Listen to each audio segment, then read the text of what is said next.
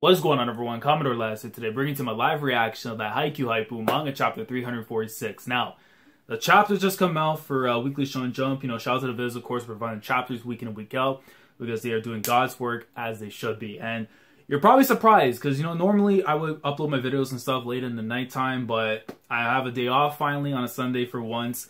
Uh, of course, you know, Easter Sunday, for those of you guys celebrating Easter, happy Easter, of course. I just finished up having like a late lunch with family. Uh, everyone's upstairs getting ready to watch the Leafs game, or I think it's already done the first period, so it's a little quiet right now, thankfully.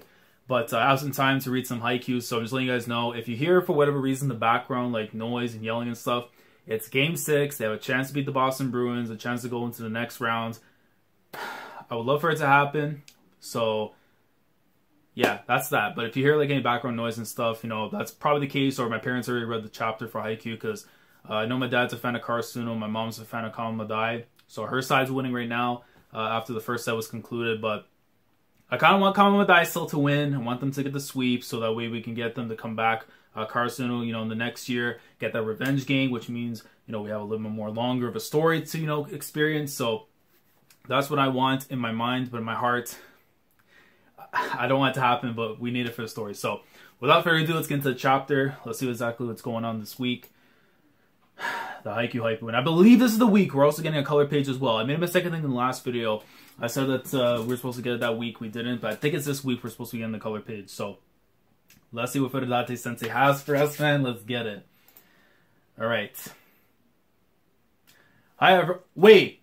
Hi, everyone. Thanks so, so much for all your votes in the Haikyuu Best Game Poll. Oh, yeah, because I remember I forgot who was it. it was my man TLG or the Haikyuu official, um, the news account and stuff on Twitter because they were doing a thing for like the best matches in Haikyuu and stuff. Did it? Uh, yo, did English? Did they give us the, the, option for the English release though? Because I don't remember doing a uh, voting for it though. Yo, we're about to get the stuff from Japan at least though. Let's see. Thanks very much for your votes in Haikyuu Best Game poll. We tallied them, and now it's up to time to announce the results. Let's start with 10th to 4th place. All right, this is going to be interesting. What the heck? Okay, wait, wait, wait, wait. Let me see.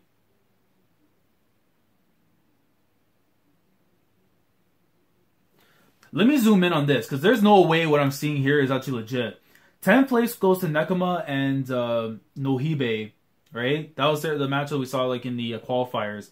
Ninth place is the Owls versus the Cats 3 on 3 during the training camp.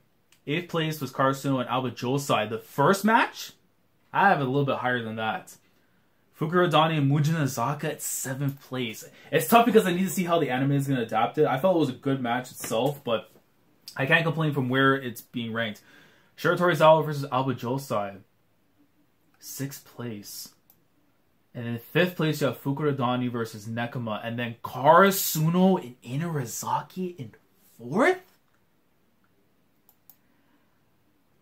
I don't know if I can agree with that because, in my opinion, like aside from the anime with Shiratorizawa, that's the best match in the series. Quality wise, that's the best match. I don't agree with what the, the fan base in Japan is saying right now. That's wild. So now I'm curious to see what they're going to put in the top three because that means Karasuno Nekoma, the Shiratorizawa match is going to be in there, maybe the second Aoba Johsai match, but it's like, I can't agree with that, man. Inarizaki was, without question, the absolute best match we got in the entire series. No way. And even the boys, even the Miya twins are like, what the hell? What the heck? We're down in fourth place. You're kidding. Fourth place is just as bad as like a hundredth place. That's facts. Y'all deserve first place. I don't agree with it. Oh, oh, three of our games have made it. See man. See Kuroo right here. The Capers of the Crows honorable mention only got one vote. Better not be for the most the most recent match because I would lo- I would fight every person in the fan base if they did that to uh, to, to that matchup. No way in the world you can do that. It better be for the uh, the training match. Uh, that wasn't a volleyball game, you know. That was a real life eater. Oh. okay, I was about to say. I was about, yo. I was gonna say, yo. If these sickles put that game in the Nationals, Inter High, at least with one vote, I would have lost my mind. Thank God. You see, first through, first through third place are on the next page. All right. Let's see exactly what we got to see, man. Okay, all right. So let me go. So third place with 4,552 votes of the spring spring tournament uh, quarterfinals. We have Karasuno versus Shiratorizawa. Second place is Karasuno versus Aoba Johsai, which is the semifinals. So this the second matchup they had. And first place is Karasuno versus Nekoma, with 8,011 votes.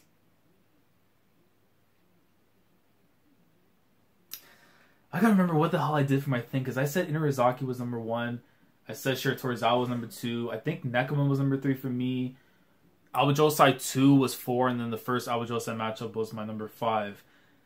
So Nekoma being the top three and Shiratorizawa being the top three, I'm happy with that. But Inarizaki, without question, should have been the number one match, in my opinion. Like when it comes to the best antagonist team, the antagonist team that we had so far, in terms, just a matchup in general. The runners up of Inter High, not even making the top three. I mean, granted, they made top five, but it's like not even top three.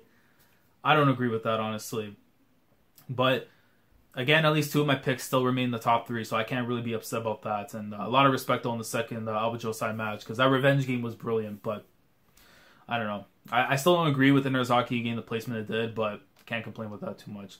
But anyways, let's see the chapter itself, chapter 346, expectation. So get ready for the second set. How are they gonna hold things down? You see Kuroo and then see Kemi right here. Whoa. Well, heck, they actually pulled it off. You see them. Oh, wait, for, oh, for. Wait, so they're seeing their matchup? Hold on.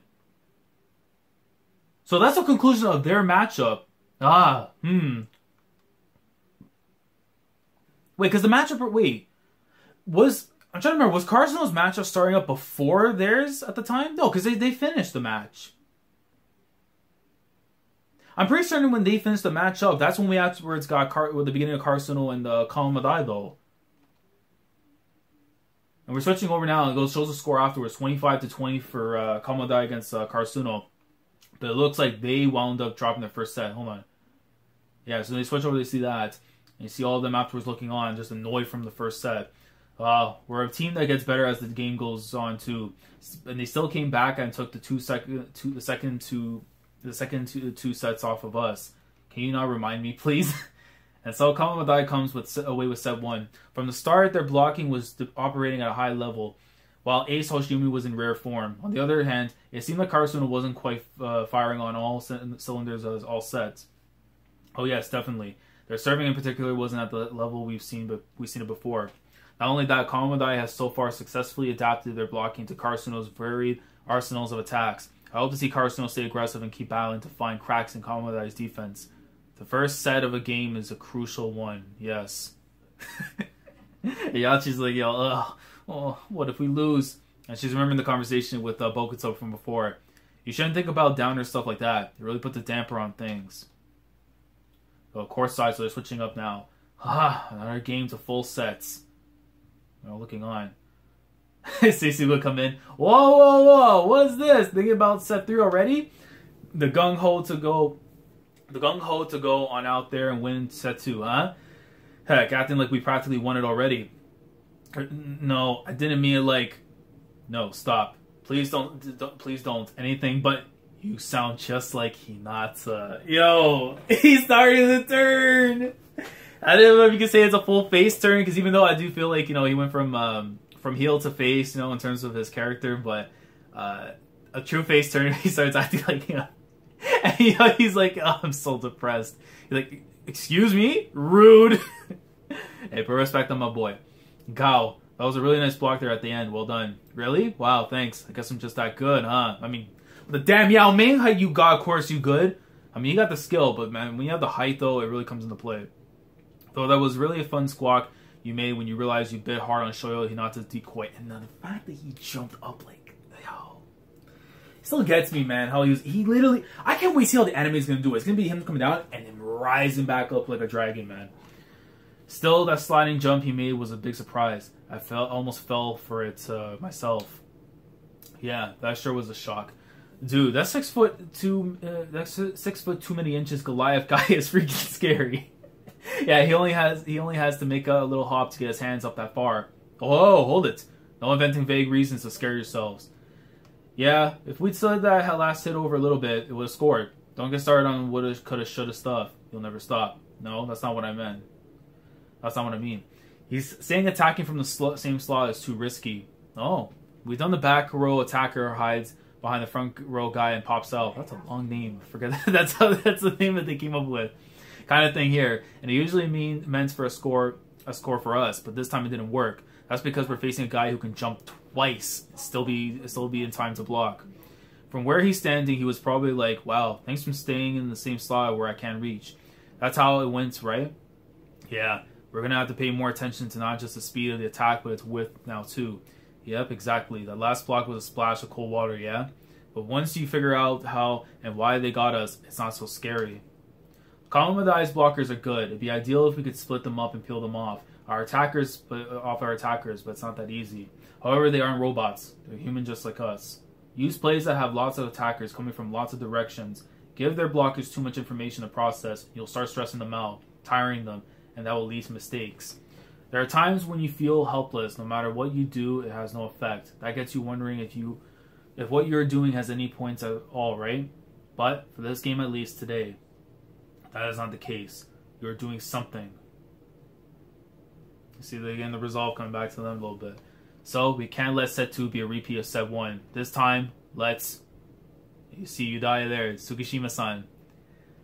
You're kind. You're kind enough to say that Hoshiumi's play reminds you of mine, but he's much better than I ever was. And I love he's actually saying that now too, because it's like, yo, Hoshiumi might be the truth. Take that last hit where he aimed for the end line. If I'd be in his shoes, I would have hit that down instead of back, and then K-kun would have blocked me.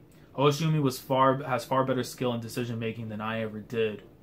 And even though the Hoshiumi kid is super good and super skilled, he took he took one look at K's blocking was like, man, I gotta avoid that guy. Good point. he's saying coming with the facts. He's like, yo, you know what you're talking about. She's watching enough of these games to know what's going on. What? They're switching over now. Going back to the coaches and stuff. It's common to point out someone's mistake and say that's wrong. But what seems to be far less common is pointing out when someone is doing something right and saying that's correct. You wouldn't think anything needs to be said because they're doing the right thing, but the person doing it isn't necessarily confident it's correct. I think it's rather important to speak up and tell them, yes, you're doing the right thing. To you guys watching on, man, to think the day would come where I get a compliment from a high school teacher. All right, ladies and gentlemen, set two is about to get underway. Will Kamomedai ride their momentum, or will Karasuno find some way to swing things in their favor? Hmm? Wait! Hold on, I, I thought Aoni was at the game and stuff. I was gonna be like, what the hell did you get there that fast? No, he's like watching on. Interesting. Kamomedai has spun the rotation a few ticks. So, okay, so what we're seeing right now, so it's Hakuba on the left. In the back, you see Hirugami and then Hoshiumi. And then in the front, you got Nozawa, Beisho, and then Suwa. I wonder why. It has to be some sort of tactic, right? Against Karasuno serving, maybe, or against Hinata. Nope. What I'm thinking is that this isn't some tactic to beef up the defense. They decided to boost their offense instead.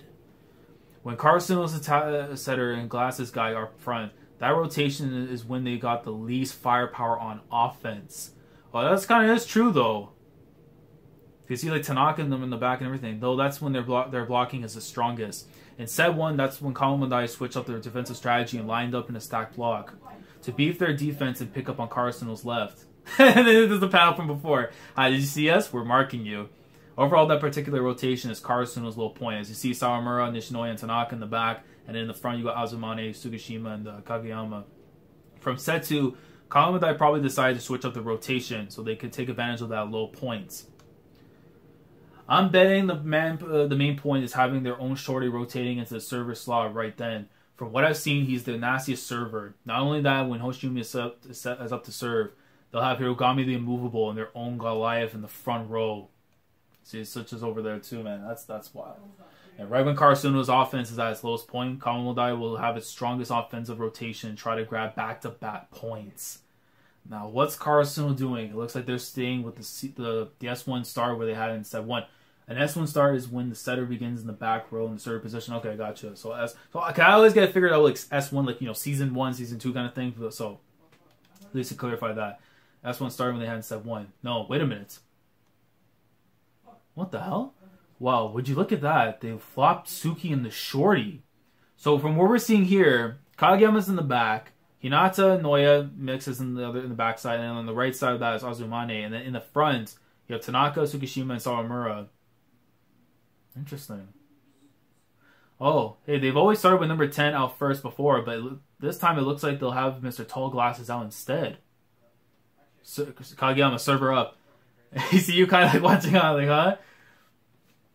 Like I'm gonna let things go according to their plan. you see the coach of the other team, he's like, "Yo, I got you in my bag," but you kind of like, "Nah, man, I'm not gonna let that happen."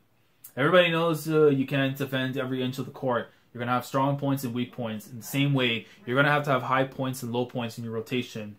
What do you bolster? What do you abandon? On your toes. We stop. Uh, stop one on one. Yeah, and here we go. The spring tournament quarterfinals, Karasuno versus Kamomedai. Set two has just begun. Karasuno setter Kageyama is up to serve. So, uh, that all means what? It just means Kageyama season! Let's go! Right away, we get the first hit. Comes down, spikes right towards Hoshiumi, and he's like, nah, fella. We coming with the heat, let's go. But at the same time, I need those guys to get the sweep, man. For the sake of longevity, I need it. But look, when Kageyama gets this hype, we gotta give it to him, man. And you see the crowd going in, yeah, good serve, back him up. Kamomedai decided that they wanted to have their best rotation come up right when Karasuno was in their weakest offensive rotation. But Karasuno switched things up a little too. And that same same rota- exact same rotation that used to be their weakest, they decided to bring out their big gun. Shoyo Hinata. Yo, that's the end of the chapter. And it says April 26th, which I'm assuming that's going to be for Friday. So we're going to get an early chapter uh, coming up this week, which, you know, very good for me because then again, I'll be on time and stuff. And then after that, we'll be back to uh, covering late at night. But yo, good chapter though this week. Again, aside from the whole, like, um, the pop, like, basically, you know, the best match poll and stuff, because I'll probably have like my own updated like you know best matches in Haikyuu and stuff, so you guys kind of hear my thoughts on why I enjoy certain matches. You know, the way that I do.